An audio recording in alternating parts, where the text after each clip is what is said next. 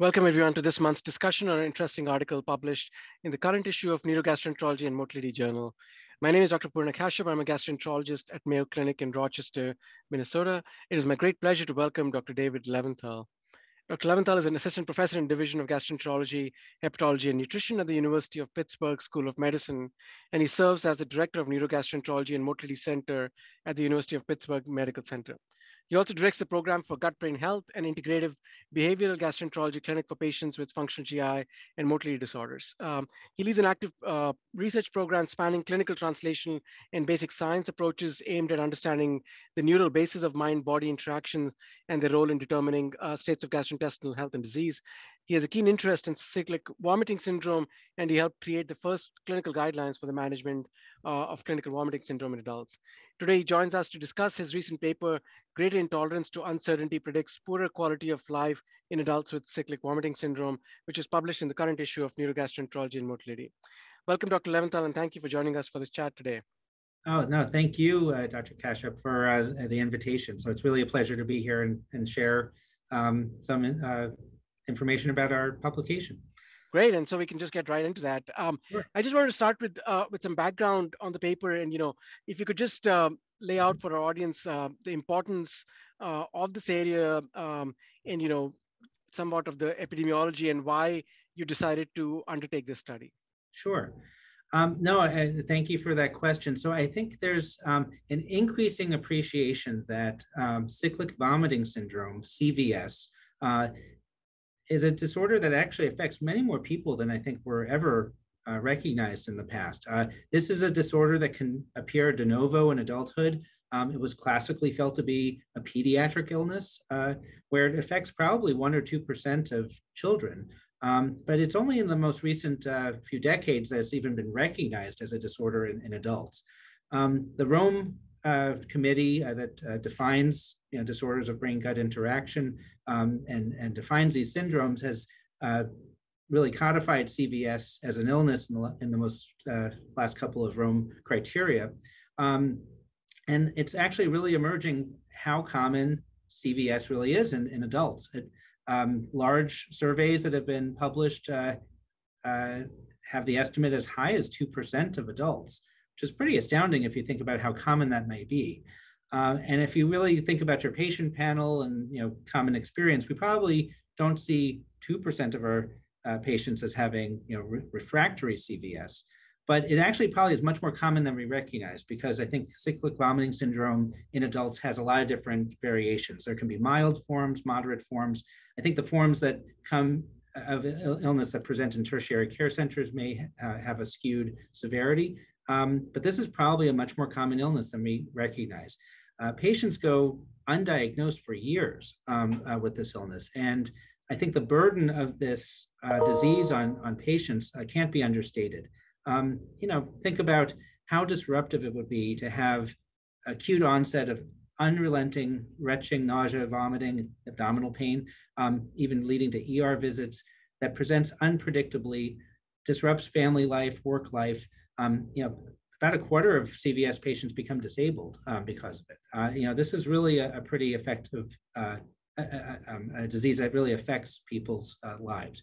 And so, um, with that kind of background, uh, you know, I've had an increasing interest in this disorder from kind of a scientific perspective. You know, what is the pathophysiologic basis of CVS? Um, we can have a separate debate about that, and that's not really the point of our discussion. But you know, ultimately, this probably is a neural disease, um, is my conjecture about this illness. And it's widely recognized that a good, a sizable proportion of adults with CVS have um, anxiety uh, that's present. And the question has always become, you know, is it anxiety because of the illness? Is it anxiety premorbid that develop, if someone develops CVS later? The relationship between anxiety and CVS is very tightly linked. And the impetus for the study that we did is um, the recognition that a lot of um, people with CVS fear the next attack. I would if I had this disorder. Fortunately, I don't. Um, but not just the not knowing when this is going to happen again um, is in in of itself anxiety provoking. Any intermittent, really bad thing that can befall someone is inherently anxiety provoking. And so it could very well be that the quality of life impact of having CVS may be linked to the actual attack frequency and how burdensome those attacks may be, sending people to the ER. But it could also be just the fact of having CVS or having some cognitive factor susceptibility to just being not able to handle unknown things and intolerance to uncertainty, so to speak, which we'll talk about. Um, that could that mediate some of the quality of life burden, at least on a mental health level. Um, and so that was kind of the impetus for the study. Um, I'm always interested in kind of mind-body interactions and the role of mood disorders in mediating the experience of an illness and maybe even the actual expression of an illness. Um, uh, and I think this was a, a kind of our foray into this field. Great, and thank, thanks for that, uh, Mm-hmm. you know, introduction and also setting it up uh, for for our audience to understand why it was Mhm. important to study this area. But you also set up um, um, the aim of your study quite well. So, you know, if you could briefly uh, tell Mhm. us, you sort of, uh, what was your hypotheses going into the study uh, before you started? Sure. So, um, so first of all, I, I, I want to, uh, before we get too far into it, I, I really want to thank one of my colleagues, uh, Thangam Venkatesan, who, who at the time was uh, at uh, Medical College of Wisconsin, um, who's really a leader in this field, um, and uh, without with whom this, this study could not happen. Um, uh, Thangam has now moved to um, Ohio State University um, and is just starting there. Um, but uh, you know, the aims of the study was really based on clinical experience with um, managing CVS patients, which I do a lot, um, and I'm really part of a larger group that's you know focused on CVS uh, research, where patients really um, pretty explicitly say, you know, I, I just the fear of the next attack is really, really kind of freaks me out. You know, I don't know when this is going to happen. Um, you know, I can relate to that a little bit. Um, you know, as a clinician, you're holding the pager when you're on call. You know, if someone said you're going to be called at 2 a.m. specifically, um, and that's the only call you're going to get, I could deal with that. But not knowing uh, when you're going to get called, even if everything was okay at the end of a call night, you know, it's interesting. Just you know, being on the hook for something intermittently about to happen. So um, the psychologic profile of the not knowing, I was looking it up, and it turns out there's this cognitive construct called intolerance to uncertainty, um, which isn't a disorder if you have high amounts of that. It's just a personality kind of trait, a cognitive style. Um, some people can roll with not knowing what's going to happen, and some people can't. Um, and it turns out that high levels of that trait, intolerance to uncertainty, really tracks kind of transdiagnostically with a susceptibility to anxiety disorders, um, and uh, you know, kind of other medical illnesses. And it's never really been looked at in any gastrointestinal illness that I could see. And so it really presented this golden opportunity in my mind to say, okay, we have a disease that is the perfect model of an intermittent, really bad thing, you know, anticipatory anxiety that patients often express.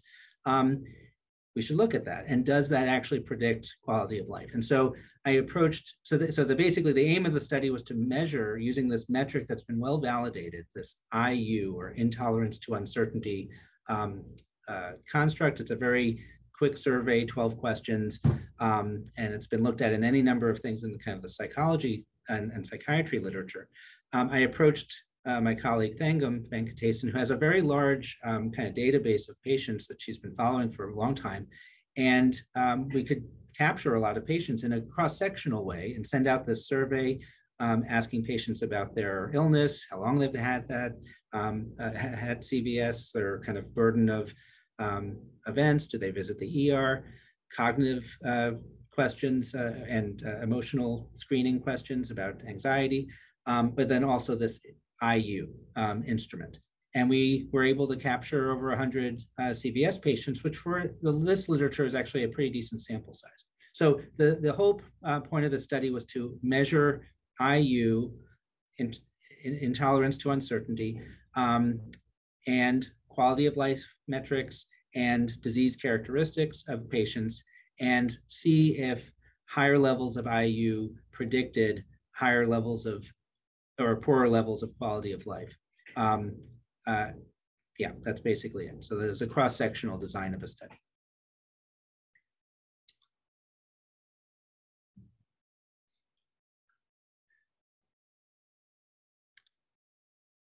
I think you're mute. Uh, cannot hear you.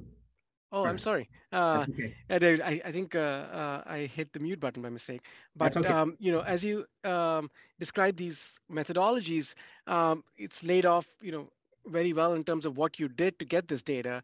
Uh, mm-hmm. But can you outline the key findings from this study for us? Sure. Thank you. Right. So, um, you know, there were a couple of different uh, things that we wanted to accomplish. First of all, this is one of the larger data sets um, just to document some factors about patients' experience of CVS. I'm very kind of proud of that. It, it, it adds a little bit to the literature. Um, it, this was kind of a side topic, but um, you know, one of the findings were, um, you know, what proportion of people experience a, a prodrome, for example, before their attack. Um, understanding a little bit about the um, uh, kind of the chronobiologic aspect of this, you know, the circadian pattern to CVS. So we asked a lot of questions just to kind of round out some understanding of uh, CVS illness in a decent subset of people.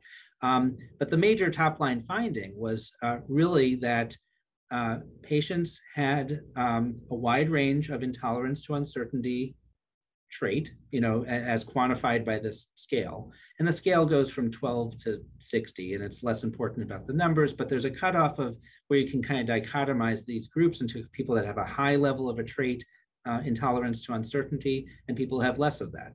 And so we basically split the um, entire study sample into the high and low um, categories. And when you look at that, um, clearly the um, average quality of life metrics as um, as, as measured by the PROMIS tools, um, showed a, a, significant gap in uh, quality of life with poorer levels of quality of life in those that had high intolerance to uncertainty trait um, uh, compared to those that didn't.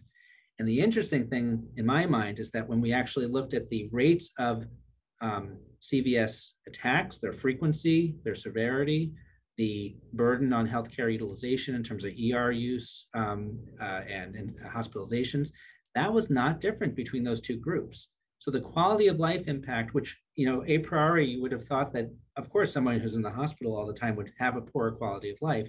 Head to head, these groups were not different. The only difference was um, the intolerance to uncertainty, and that predicted a lower quality of life. So I think the burden of this illness is not just in its frequency, which is what everyone usually talks about. How, how often do you have attacks? How long are they? Are you in the ER? You really have to take into consideration the psychological toll that having an illness like this has on somebody. And IU, this intolerance to uncertainty, seems like a cognitive trait that may predict someone being more susceptible or vulnerable to this uncertain disease in terms of just not knowing when it's going to come. Um, that's, an, that's a burden that affects you all the time because you, you're, you're fearing the next event. Um, so I think that's some insight. And the reason why it's important that we found that is that that's a malleable cognitive trait. So when you go to a psychologist for cognitive behavioral therapy, you know, we kind of think of this as this black box thing that happens. You know, you go to a psychologist and they do their CBT, right? But you know, part of that is to really identify what cognition is is really getting people stuck. Um, and internal intolerance to uncertainty can be altered by cognitive behavioral therapy. So it's possible that patients that have CVS could benefit, some, some subset perhaps, um, could specifically benefit from CBT.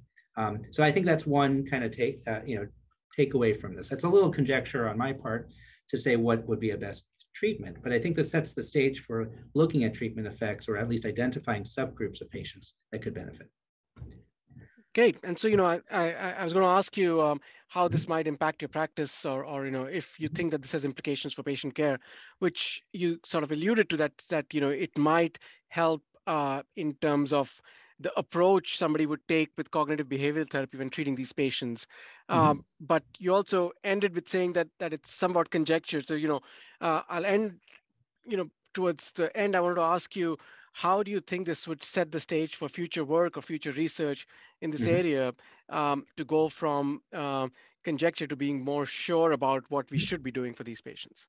Uh, thank you. And I'm, I'm, sorry, I've kind of anticipated some of your questions and rolled them into uh, long, long-winded answers.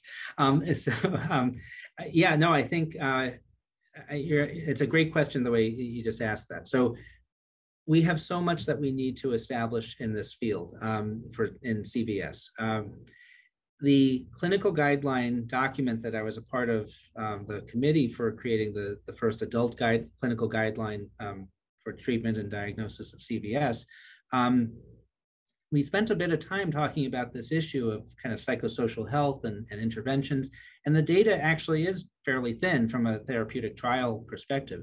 Um, intuitively, it certainly can't hurt, and it likely helps, um, but the data to support that is pretty pretty thin. Um, I think we need more trials uh, in, in, this space. And so, you know, a trial to do cognitive behavioral therapy um, for cyclic vomiting syndrome patients, I think would be wonderful. Um, I think we need that. Um, I don't know what the effect size would be. Um, so we, we, we really need to kind of do those trials.